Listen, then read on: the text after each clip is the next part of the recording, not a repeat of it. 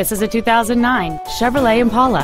It has a 3.5-liter six-cylinder engine and a four-speed automatic transmission.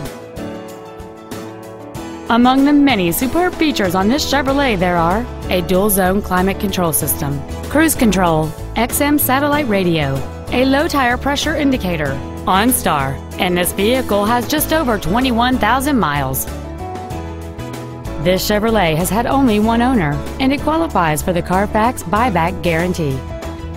Contact us today and schedule your opportunity to see this car in person.